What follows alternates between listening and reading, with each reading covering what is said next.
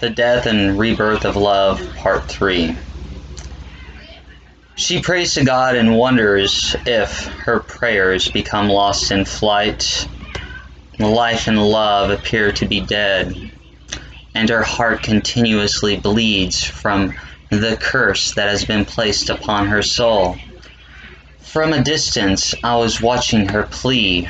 I could feel her pain as she tried to explain her compromise between the sun and moon, but her words couldn't pierce the heavens, dropping to her knees as if she fell to resurrect her life from past mistakes humanity chooses not to let go, but bully you into their control.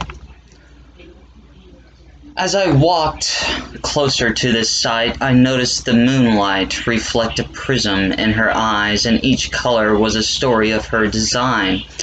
And I said, I don't know who you are, but from the words you spoke, I know we have the same heart. I can see you are lost and confused, trying to make the pieces fit and I know it all feels as if everything is lost, but I'm here to try and be a guide.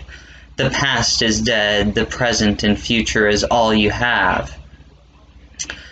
Change direction and recreate yourself before you become what you hate.